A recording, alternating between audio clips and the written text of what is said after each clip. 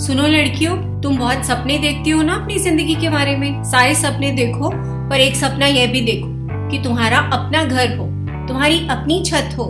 सपनों के राजकुमार से पहले तुम अपनी छत का सपना देखो, तुम्हारा अपना घर, जहाँ से कभी कोई तुम्हें नहीं निकाल सकेगा।